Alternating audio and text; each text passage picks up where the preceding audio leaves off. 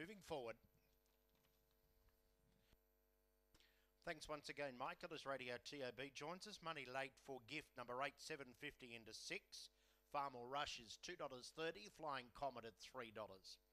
Don't forget our UBET Quadrella jackpot today, starting at five hundred dollars. The quaddy on races five, six, seven, and eight. Five hundred dollar start pool for that Quadrella.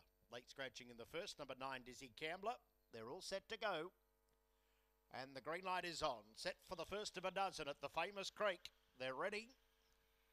Racing now, out wide, Outback Shadow came away quickly to lead, following across Outback Destiny.